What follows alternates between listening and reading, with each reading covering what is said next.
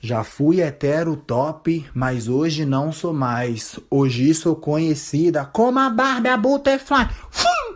Vuei! Xalabim, xalabá. Quero um velho rico pra me bancar.